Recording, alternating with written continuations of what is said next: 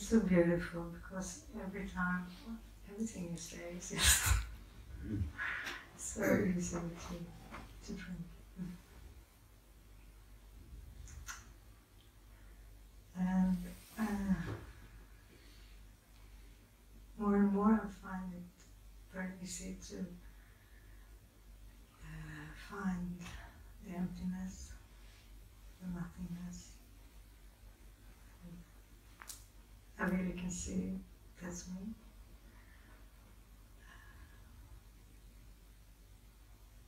And when I'm there,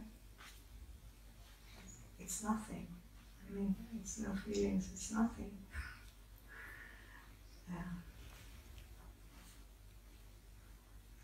And uh, I want to ask you about that because, in one way, it's peace, it's just peace.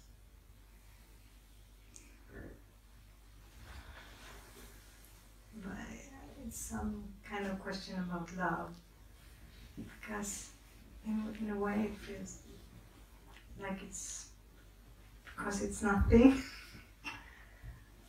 Something in me, yeah, it's it's where is the love? Where's the love? but I also, in one way, I feel it like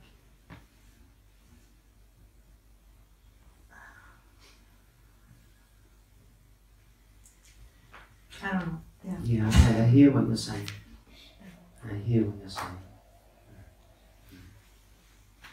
You say, when I'm in the emptiness, there's great peace and great silence, and great sense of resting.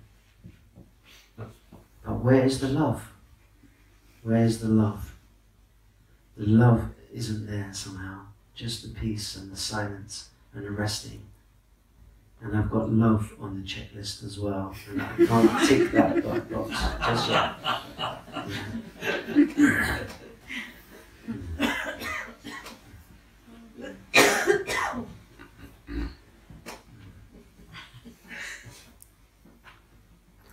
Maybe it's a different kind of love. Maybe it's a different kind of love. Maybe it's a love that just, the, the truest love, I, I feel, simply is. Because that embraces and allows everything to be as it is. Is there any greater love than that? Now, for another being, their flavor that comes out of the realization of the self may be a kind of very demonstrative love. You know, we've all seen Amma, haven't we? Amma in India. Amma. She's traveling, hugging, you know, hugging, hugging like that. Hugging, hugging, hugging, hugging, hugging. I was on tour with her. I went on tour with her many years ago in India. And we arrived in this place, and uh, I just looked out, and all I could see, for as far as I could see, were just thousands and thousands and thousands and thousands and thousands of people. And I thought, she's going to hug and feed every one of them. She's going to hug and feed every one of them. I was thinking, wow, I wonder how many it's going to take. There's a lot of people out there. And this is in India. And in India, the hug, in, in London, you get about a three or a five second hug because there's maybe 500 people there. So you get a really nice hug. But in India, she is doing about five in a second. She's She's doing it like this, like this, and every time someone moves out, someone else moves in, and I just thought, wow, this this woman is incredible. She really is the, the, the hugging saint.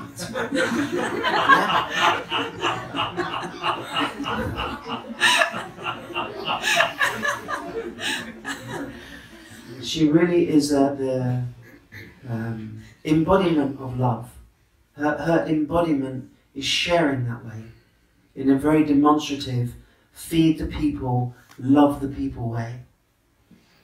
In another realized being, let us just take Ramana, just give that example.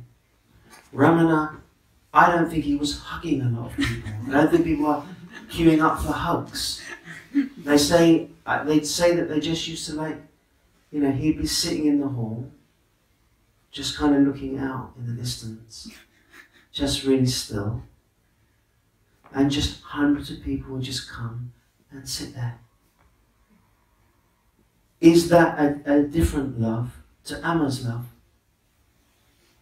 Maybe, maybe its flavour is different, but where it is coming from is same. Is same. I say your flavour, your embodiment, let it be the way it is. And the more you're able to come inside that, and the less there is somebody there, you know, trying to push anything, you'll just feel like, no, this is my, this is my flavour. That this is the flavour of this flower. Another flower smells like that. Another flower smells like that. But this flavour, your flavour, maybe is pure silence. Pure silence. Maybe that is, is the flavour that comes through that embodiment. And you're asked just to just to allow that to come through. Just that pure silence. That in, in and of itself is love. And the less the person is there, the less the person is there, there is more space for kind of God to just work through you. It's like they, they, they, sometimes they make a prayer, isn't there? Just, you know, let me be an embodiment for God. Like whatever God wants of me, let me just be that. Let me be in full service to that. And, you know, myself also, you know, I remember when I was spending a lot of time with Mooji, and Mooji's temperament also is kind of very loving. It's got a very loving way. And also myself, I was feeling, I, I don't really feel that. I feel more silence. Inside that silence, I feel a love, but it is not demonstrative. And I can't force myself to be like that. I just kind of accept that this is the way that this embodiment is. And I do love people. I do love people. But I don't feel if, if I were to go out hugging people all day, I would be totally overwhelmed. I would be totally overwhelmed. I would probably last three days and then I'd have to just tell everyone that I, I've given up my job as the hugging saint. I gave it a go. and it wasn't for me. But if, if I had to sit in silence every day, I could do that. It doesn't take anything from me. If, if you said to me, Paul, can we just, like for a year, just can we just meet every morning for an hour and just sit in silence? I say, of course. But if you say, Paul, can we meet every day for an hour and just hug? I say, I have to think about it. I could try it for a week, but I can't make any guarantees.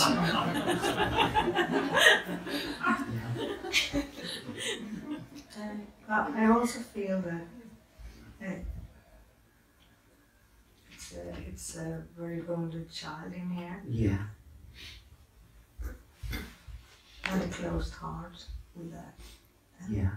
And what I feel is when I know when I know the emptiness, when I know that, and when when I can be there, it feels like maybe this wounded part can dare to come up. Yeah. So, so maybe that's also what, what I'm. Uh, I feel this closed heart, maybe also. Okay. Yes. Yes.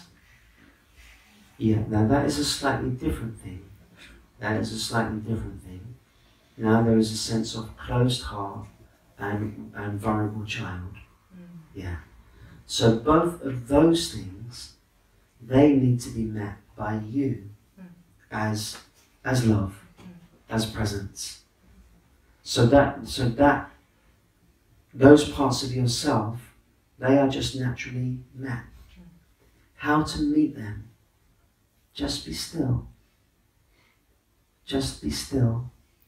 And the consciousness in you, it will naturally go towards whatever feels um, incomplete or something. It will, it will naturally go towards that.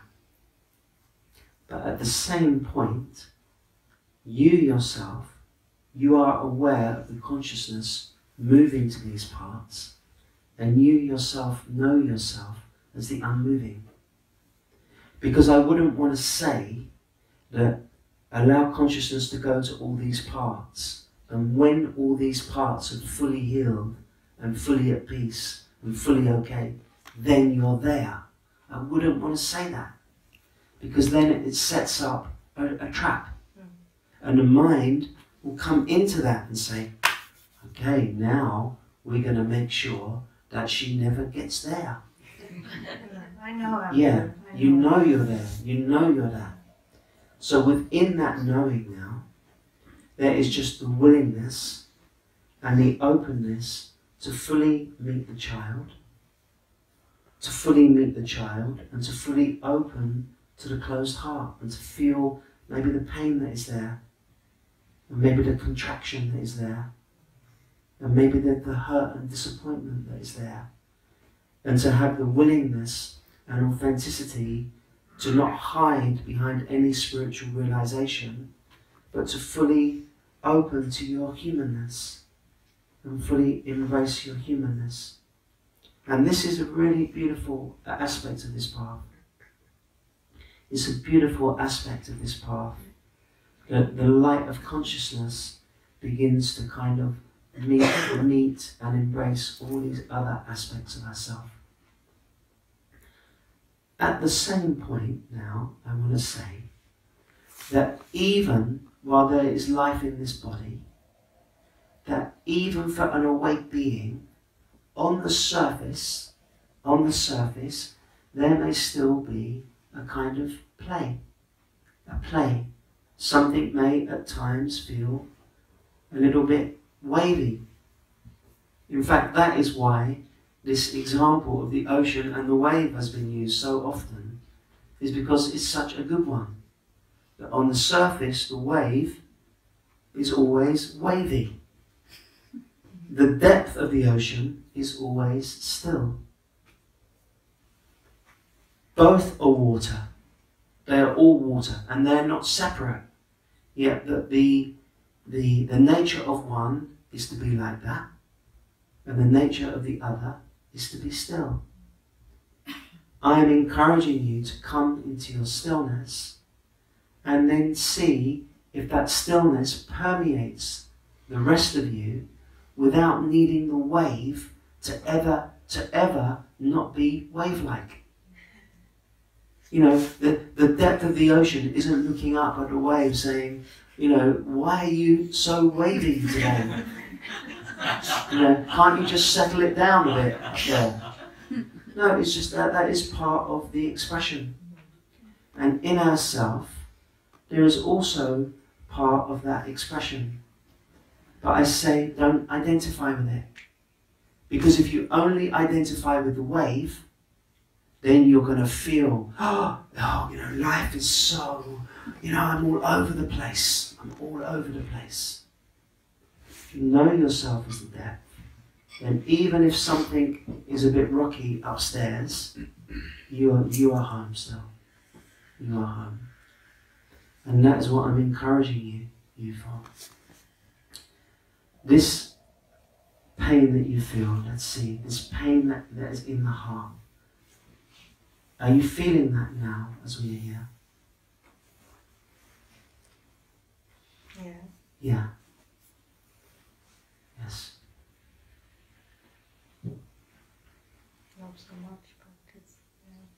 She's saying not so much, but she can feel it. Yeah. Mm-hmm.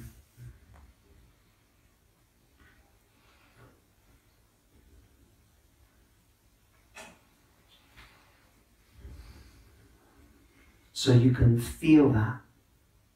And as you fully feel that without becoming that, then something in that, in its own time, is going to just release. And maybe then also you will feel much more this sense of love inside you.